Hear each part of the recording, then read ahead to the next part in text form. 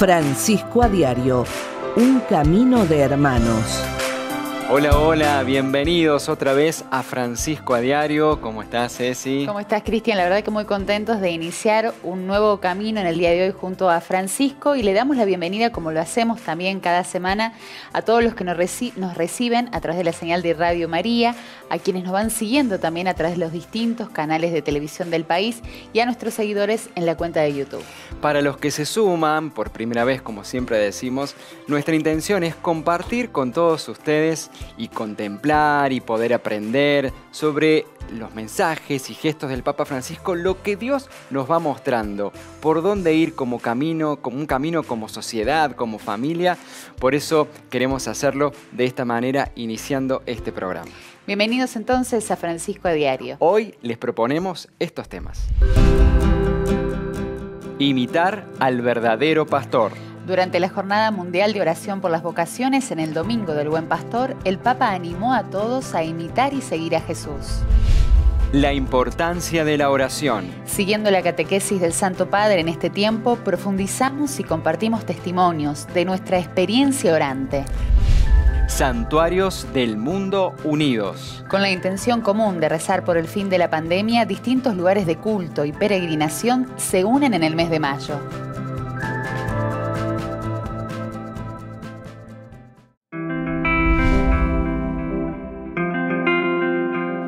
Comentando el Evangelio en el que se presenta a Jesús como el verdadero pastor, el Papa destacó dos aspectos que hacen al estilo del Hijo de Dios para cuidar al rebaño, la autenticidad y la bondad.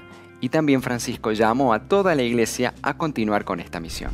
Durante el cuarto domingo de Pascua, Domingo del Buen Pastor, el Papa Francisco alentó a imitar a Jesús, verdadero pastor. En su reflexión previa al rezo del Regina Cheli, el Santo Padre comentó el pasaje del Evangelio de San Juan en el que se presenta a Jesús como el verdadero pastor que defiende, conoce y ama a sus ovejas. El Papa aseguró que Jesús es el pastor verdadero, nos defiende y nos salva en muchas situaciones difíciles, peligrosas, mediante la luz de su palabra y la fuerza de su presencia, que experimentamos especialmente en los sacramentos sacramentos. Por ello, Francisco subrayó que la Iglesia está llamada a llevar adelante esta misión universal de Cristo y describió que además de los que frecuentan nuestras comunidades, hay muchas personas que lo hacen solo en casos particulares o nunca, pero no por esto no son hijos de Dios, sino que el Padre confía en Cristo buen pastor. El amor de Cristo no es selectivo, abraza a todos. Nos lo recuerda él mismo en el Evangelio de hoy cuando dice, también tengo otras ovejas que no son de este redil. También a esas las tengo que conducir y escucharán mi voz y habrá un solo rebaño, un solo pastor. Estas palabras dan fe de su inquietud universal. Él es pastor de todos. Jesús quiere que todos puedan recibir el amor del Padre y encontrar a Dios. Y la Iglesia está llamada a llevar adelante esta misión de Cristo.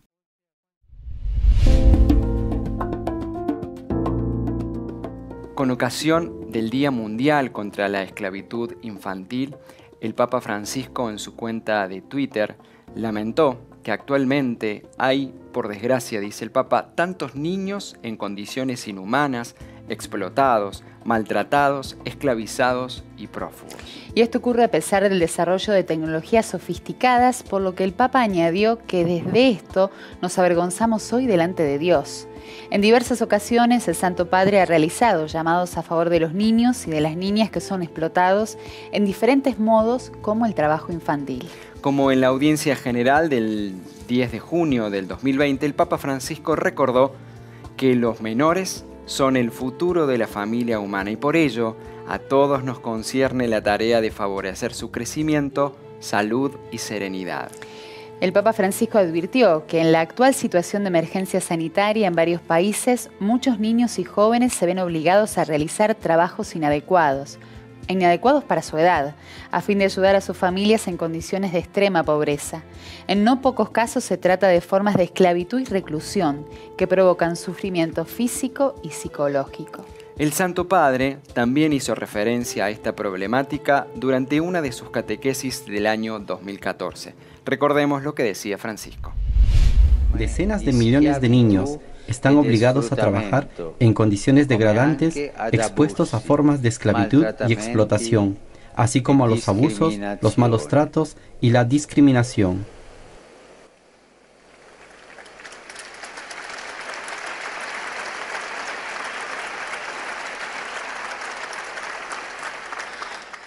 Auspico vivamente que la comunidad internacional Espero sinceramente que la comunidad internacional pueda ampliar la protección social de los menores para erradicar este flagelo de la explotación de los niños.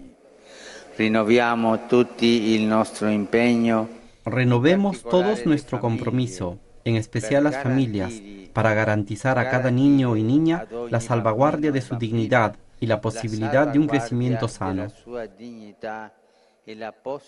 Una infancia serena permite a los niños mirar con confianza a la vida y al futuro.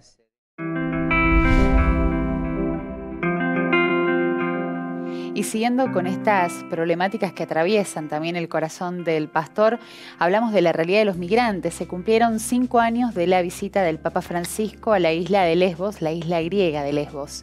Un momento que se convirtió realmente en un hito en lo que hace a la solidaridad, la fraternidad y la humanidad de quienes cruzan el mar Mediterráneo y el mar Egeo buscando salvar sus vidas.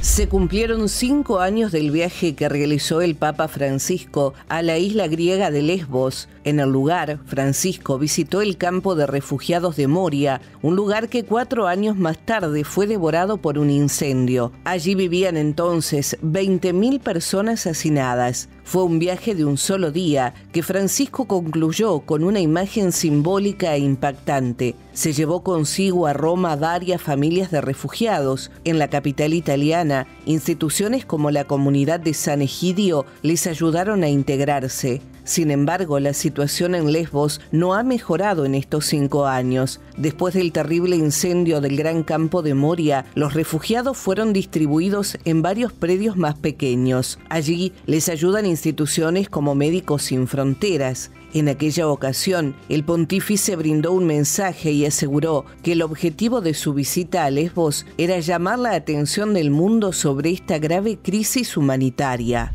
He venido aquí con mis hermanos el patriarca Bartolomé y el arzobispo Jerónimo, sencillamente para estar con ustedes y escuchar sus historias. Hemos venido para atraer la atención del mundo ante esta grave crisis humanitaria y para implorar la solución de la misma. Como hombres de fe deseamos unir nuestras voces para hablar abiertamente en su nombre. Esperamos que el mundo preste atención a estas situaciones de necesidad trágica y verdaderamente desesperadas y responda de un modo digno de nuestra humanidad común.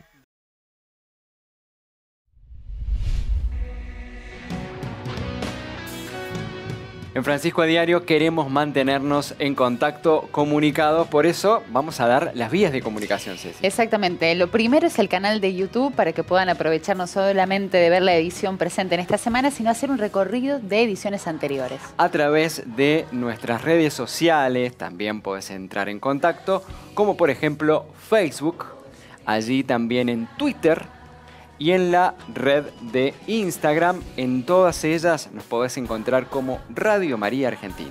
Y también como Radio María Argentina nos podés encontrar en nuestra web www.radiomaria.org.ar y te podés comunicar también con nosotros a través de la línea telefónica 0810 7 veces el número 7. No te vayas, hay mucho más Francisco a diario. Francisco, Papa da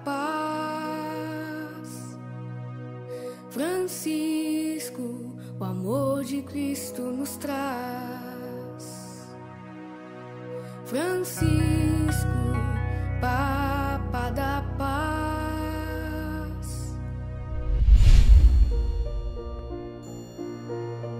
Como les anunciábamos en los títulos, durante todo el mes de mayo, desde distintos santuarios en todo el mundo, vamos a estar orando por el fin de la pandemia. Esto sucederá cada día a las 18 horas, estamos hablando de hora de Italia.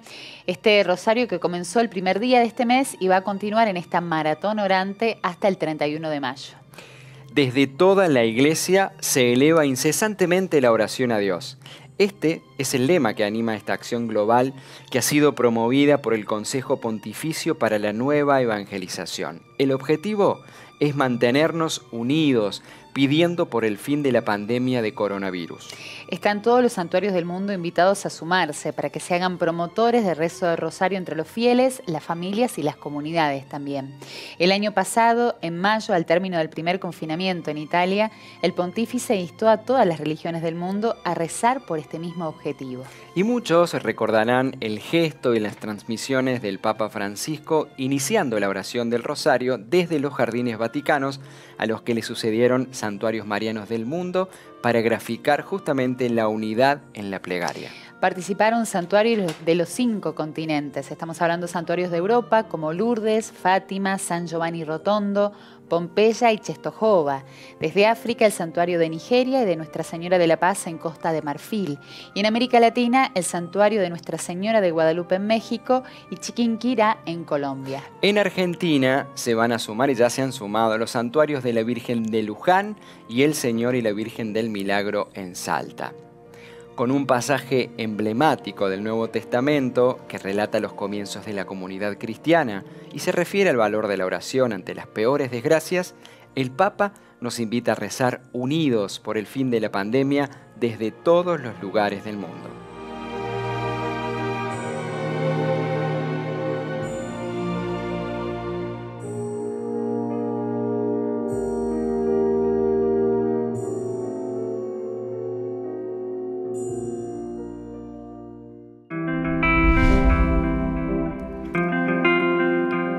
En el ámbito de esta oración sostenida, global y constante, desde distintos santuarios en todo el mundo, en donde estamos pidiendo por el fin de la pandemia, justamente días atrás el Papa Francisco se refirió a la oración personal y comunitaria, diciendo, la oración abre la puerta al obrar del Espíritu Santo, y nos animó a que nos preguntemos sobre nuestra experiencia orante.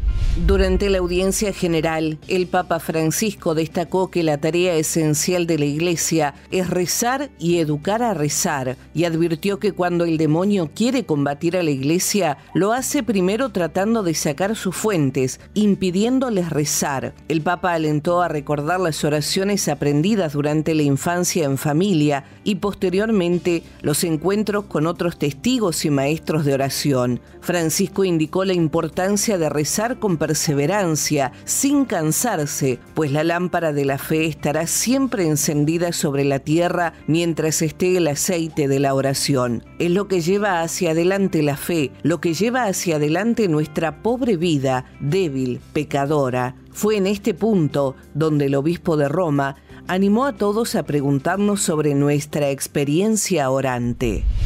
Es bueno recordar y agradecer a las personas que desde que éramos niños y a lo largo de toda nuestra vida nos enseñaron a rezar. En los momentos de oración que compartimos tanto en la familia, que es la iglesia doméstica, como en la comunidad parroquial u otros grupos cristianos, descubrimos que crecemos en la fe a medida que aprendemos a rezar y profundizamos en esta experiencia. La vida cristiana no está exenta de momentos de crisis y dificultades. Lo vemos en el testimonio de los santos, en las pruebas que tuvieron que afrontar. Pero ellos nos enseñan que el secreto para seguir caminando en la fe es la fuerza de la oración.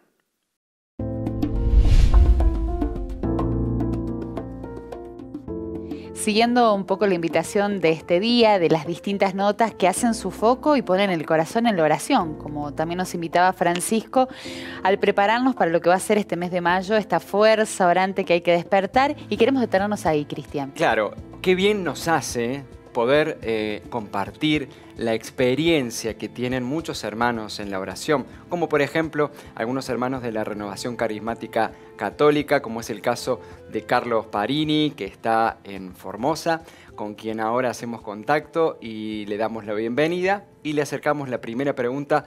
Carlos, para vos, ¿qué es la oración? ¿Cuál es la experiencia que vos tenés en la oración? Hola Ceci y Cris, espectacular. me encanta, me encanta poder estar con ustedes y realmente hablar de esto que es tan, tan profundo, tan importante. ¿no? Hay una, una, definición que a mí me, me, llega profundo, que es la, la tengo anotada acá, que es de Santa Teresa del Niño Jesús, que dice, para mí la oración es un impulso del corazón. Y dice también, es una sencilla mirada lanzada al cielo. La oración, ¿qué es para mí? Es justamente eso, ¿no? Es el puente, es el camino. Como lo dijo el Papa, el Papa dijo, es una fuerza. La oración no es el fin en sí misma. No, es eh, me voy a poner a orar por orar o para orar simplemente. Es el motivo que nos impulsa a un encuentro. El encuentro con, nuestro, con nuestro amado, con nuestro Señor, con nuestro Creador. Es ese momento donde nosotros podemos eh, transitar ese camino, esa fuerza, esa, esa potencia del corazón que, que te lleva a encontrarte con ese, con ese papá Dios bueno, generoso, bondadoso, que, que, nos está esperando y que está esperando ese, ese gran sí de parte nuestra. ¿no? Creo que eh, así como está el sí de María, es nuestro, nuestro sí. Es el decir, ¿sabes qué? Yo hoy sí, Señor, hoy me quiero encontrar con vos, hoy quiero hacerme chiquito, hacerme humilde, hacerme pequeñito para, para reconocer tu señorío, tu majestuosidad, tu presencia. Y a partir de ahí comienza ese camino. Es un, es un viaje de ida que no termina nunca, porque realmente tiene una potencia y una, y una, y una, a ver, una dulzura y un sabor tan grande que, que nos lleva siempre a ese encuentro que nunca es suficiente. Es como que todo el tiempo tenemos más anhelo, más ganas, más, es algo insaciable cuando uno empieza a experimentar esto, ¿no? Y eso es muy bueno, empezar por ahí, Carlos, digo, cómo se va despertando, también va aumentando el deseo mientras uno más se da la posibilidad de este encuentro.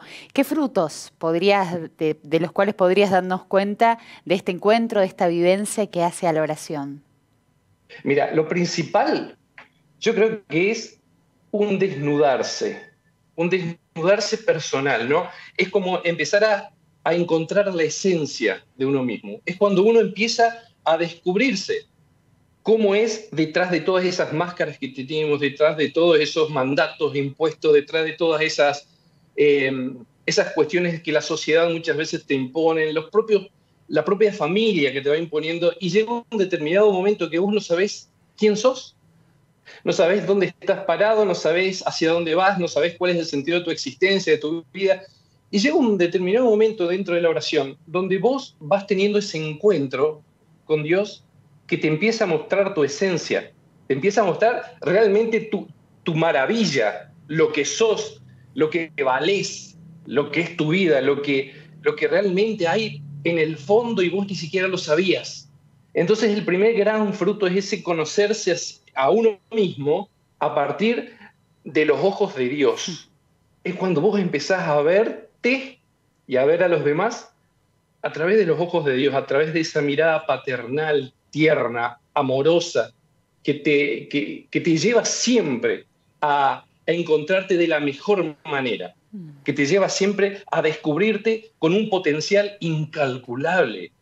Y no importa en la situación en que esté tu vida, no importa, no importa si sos rico, pobre, indigente, sano, enfermo, no importa. La vida es maravillosa y a través de los ojos de Dios la, la podés ver a través de tu oración, a través de esa entrega, a través de ese sí, a través de que Él te quiera revelar, mostrar y vos le decís, sí, acepto, acepto, quiero esto, anhelo esto, disfruto de esto. Por eso te digo, o sea, más allá de, de esas circunstancias que pueden estar rodeando nuestra vida, lo importante es lo que Dios genera a través de la oración, de este puente, ¿no?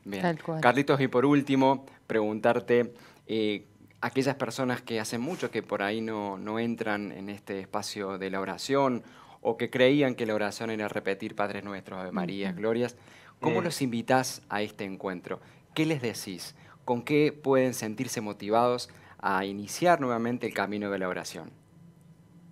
Yo creo que lo principal, Cristian, Ceci, lo principal es que eh, la oración no es un- una moneda de trueque.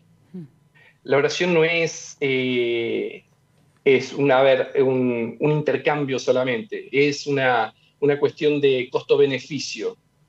Eh, muchas veces cuando tenemos dificultades para, para orar, para, para sentarnos porque sentimos cansancio, porque sentimos apatía, porque sentimos desgano, en realidad es que no estamos entendiendo con quién nos vamos a encontrar. Tal cual. Qué bárbaro. Y entonces, cuando vos tenés esa certeza, esa seguridad, vivir en la certidumbre de que te vas a encontrar con tu papá, con ese que, que es el único que te ama hasta la eternidad y que dio su único hijo para que vos puedas ser salvo, para que puedas vivir en esa eternidad y compartir con él. Yo creo que el anhelo, el anhelo, el gozo de la oración, el decirle simplemente, Señor, aquí estoy, en silencio, ahí empieza. Ahí empieza. Por eso es invitarlos a que den ese primer pasito chiquitito, no hace falta nada, no hace falta que oren, no hace falta nada. Es Señor, papá, aquí estoy. Y, y te espero. Mi corazón te espera y, y regálame tu Espíritu Santo para que yo pueda seguir buscándote, seguir anhelándote y, y las cosas van a hacerse, Mm. porque Dios hace nuevas todas las cosas. Así que Amén. yo creo que ahí, por ahí empezamos. Por ahí empezamos y no terminamos, sino es un comienzo Y no siempre. terminamos más. Carlos. Carlos Parini, muchísimas gracias por este momento y gracias por encendernos en esta vivencia que nos es vital ¿no? y transversal. Muchas gracias. Me alegro muchísimo y ojalá Dios quiera que a todos los que estén escuchando ahora y siempre este mensaje realmente se les encienda el fuego y la pasión por poder encontrarse con el Creador, con Que nuestro así Señor. sea. Amén. Muchas gracias, Carlos. Gracias a ustedes. Continuamos nosotros en Francisco a Diario con este ardor, con esta fuerza, de esta manera.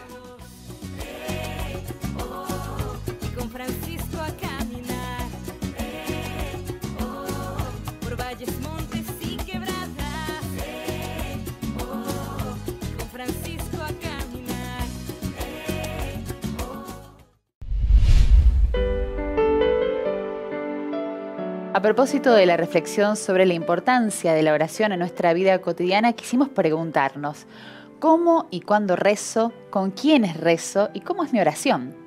Mientras cada uno de ustedes va dejando que esto dé vuelta en el corazón y se van preguntando interiormente, les invitamos a compartir algunos testimonios de distintas personas de nuestra Argentina con diversas realidades que van acercándonos su testimonio acerca de su experiencia de la oración, como por ejemplo desde San Rafael o desde San Miguel de Tucumán.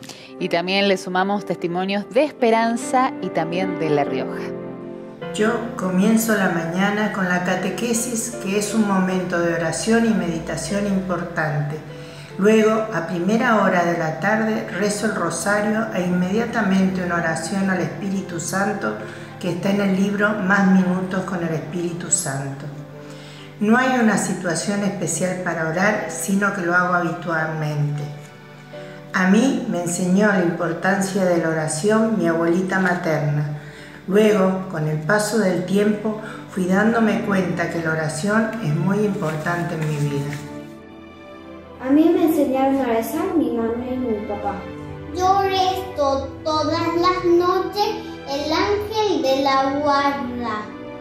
Y el momento de oración que compartimos en familia es en la cena, cuando damos gracias por los alimentos y ponemos en manos de Dios y la Virgen nuestras intenciones de ese día. Eh, hago oración, son tres en el día, las oraciones más fuertes, que es a la mañana, dando gracias a Dios por un nuevo día, al mediodía agradeciendo el alimento y la comida, y a la noche dando gracias por un día más de vida. No hago oraciones ya hechas, sino que realmente son inspiraciones que salen de mi corazón, en el momento que le quiero decir a Dios en ese momento. Que el que me enseñó, ¿no es cierto?, orar fue mi, fue mi catequista de adulto, una señora de mucha oración que me puso ese sello, ¿no? El sello de la oración es el encuentro íntimo con Dios y que debemos realizarlo cada día. Hola, mi nombre es Eliana Tanquía, soy de La Rioja y yo tengo tres o cuatro momentos en los cuales hago oración. Eh, principalmente a la mañana me gusta comenzar el día meditando el Evangelio. Durante el día también rezo el rosario, eh, rezo la coronilla, la Divina Misericordia, el rosario a San José en este año principalmente dedicado a él, las oraciones a San Miguel Arcángel y también las oraciones eucarísticas cada vez que voy a mi hora santa.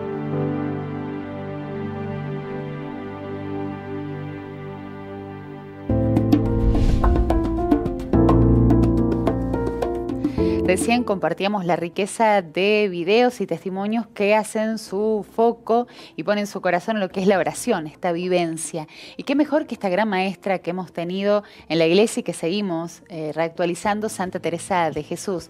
Ella bien lo decía, la oración es este trato de amistad con Dios, sabiéndonos amados. Un trato de amistad que el Santo Padre también lo pone en valor en el marco de este video mensaje que graba y que comparte en lo que fue el Congreso Internacional, Mujer Extraordinaria haciendo referencia al legado de Santa Teresa de Jesús. El Papa Francisco se hizo presente a través de un video mensaje en el Congreso Internacional Mujer Excepcional, dedicado a Santa Teresa de Ávila. Con motivo del 50 aniversario del doctorado de la Santa, este encuentro se desarrolló en España entre el 12 y 15 de abril. La bondad de Dios es mayor que todos los males que podamos hacer y no se acuerda de nuestra ingratitud, dice el pontífice, y propone nuevamente el camino de la santidad siguiendo el modelo de Santa Teresa. Recordando que la santidad favorece un estilo de vida más humano, el Papa Francisco subraya que no es solo para algunos especialistas de lo divino, sino la vocación de todos los creyentes. Sin embargo, la santidad es originalidad, porque cada uno está llamado a un camino diferente. Estamos ante una persona que se destacó en muchas dimensiones. Sin embargo, conviene no olvidar que su reconocida relevancia en estas dimensiones no es más que la consecuencia de lo que para ella era importante, su encuentro con el Señor, su determinada determinación, así dice ella, de perseverar en la unión con Él por la oración, su firme propósito de realizar la misión que le había sido encomendada por el Señor, al que se ofrece con sencillez, diciendo, con ese lenguaje simple y hasta uno diría, hasta de campesina, vuestra soy, para vos nací, ¿qué mandáis hacer de mí? Teresa de Jesús es excepcional, ante todo porque es santa.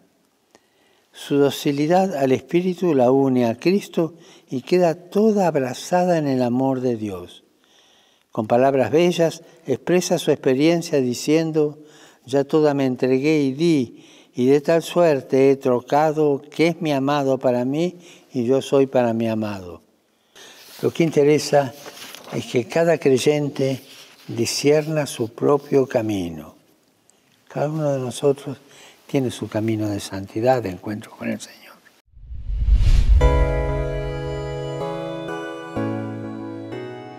Esta semana se conoció la firma del decreto por el cual se declara venerable al siervo de Dios Enrique Yo, laico argentino, padre de familia y empresario de nuestro país. Claro, él obtuvo el reconocimiento de las virtudes heroicas por parte de la Santa Sede y qué bueno que en este año de la familia podamos compartir eh, este paso que ha dado eh, de santidad un hombre de nuestro tiempo, como dice justamente este decreto, cristiano laico, padre de familia, esposo ejemplar, que supo integrar en su vida cotidiana la respuesta evangélica bautismal de la santidad.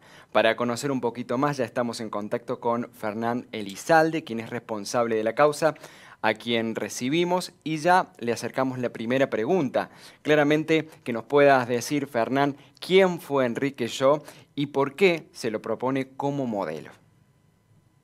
Enrique Yo, buenos días, en que nada. Enrique Yo fue un hombre que vivió eh, quizá muchos años oculto, porque no mucha gente lo conoció o lo escuchó sobre su, sobre su pasado, pero que realmente dejó un, montón de material que gracias a Dios pudimos recuperarlo y hoy es, el, paradigma, yo casi diría, del, hombre moderno que estaríamos buscando si fuera posible. Eh, es modelo porque justamente eh, necesitamos en este momento de crisis mundial, no solamente Argentina, gente que nos dé un rumbo, un camino, un, método.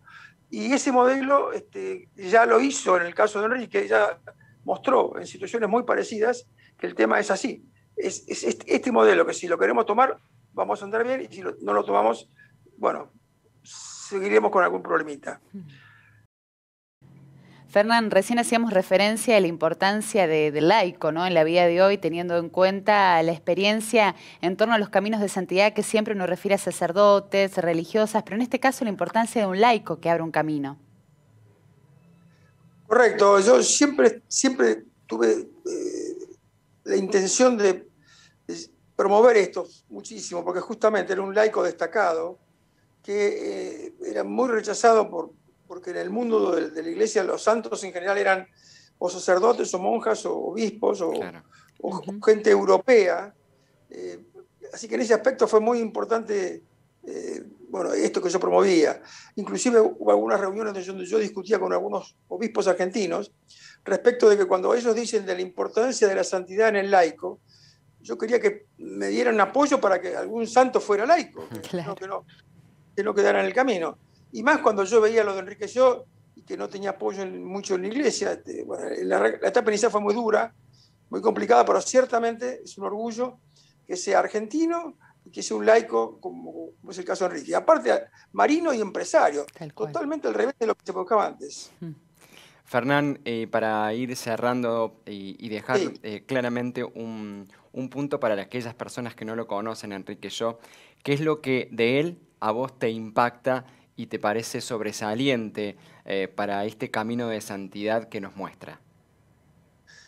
Bueno, aparte de su vida espiritual, que es enorme y que realmente creo que es el motivo por el cual ha sido proclamado venerable por la forma heroica que vivió sus virtudes, eh, o sea, vivió en forma extraordinaria las, cosas ordinarias de la vida, él es un hombre que nos da una luz sobre todo lo que debemos hacer en la Argentina y en el mundo para que el mundo sea un mundo más justo, más humano, más eh, buscando lo que Dios quiso, quiso, siempre que el mundo fuera, y no un mundo donde la, riqueza, los, privilegios tienen tanta, tanta importancia y lo otro desaparece o prácticamente queda en segundo plano, a pesar de que el recurso humano es el recurso más importante que tenemos, ¿no es cierto? Así que por ese lado creo que viene la, la, cuestión de Enrique John. Es un ejemplo en todo sentido que aparte de decir, hacía lo que dijo y lo puedo, lo puedo demostrar eh, permanentemente. Que la coherencia. Fernán, muchísimas gracias y realmente nos unimos en oración por este proceso que se abre hacia adelante. Bueno, muchísimas gracias a ustedes y por supuesto este, espero que pronto reciban noticias de la causa respecto del posible milagro que estamos tramitando en Roma. Ahí está, que, así, sea. Recién teníamos la oportunidad de adentrarnos en este camino de santidad cristiana a la luz del testimonio de Enrique Yo, este laico que va camino a los altares y que nos lo acercaba Fernán Elizalde.